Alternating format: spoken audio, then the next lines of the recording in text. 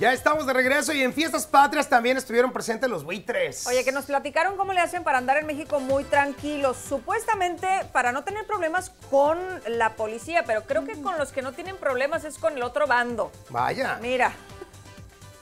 Vamos a ver, ahora sí, véngase.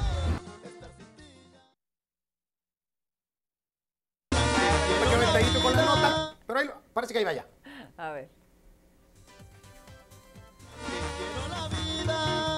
Muchachos, aquí estamos con los buitres. Venimos a ver qué tan buenos son con las bolas de billar. Somos más buenos con el palito que con las bolas. Muchachos, y aparte sí son muy viciosos.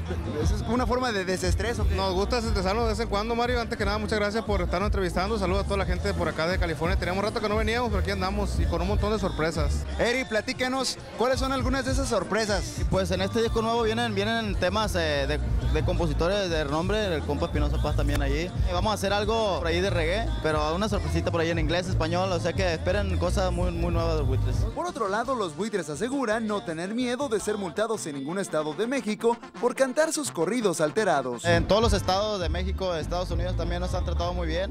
La gente nos apoya, le gustan los corridos, le gusta divertirse, nosotros no nos metemos con nadie. Y regresando a los deportes, Somos más buenos que la selección. Ok.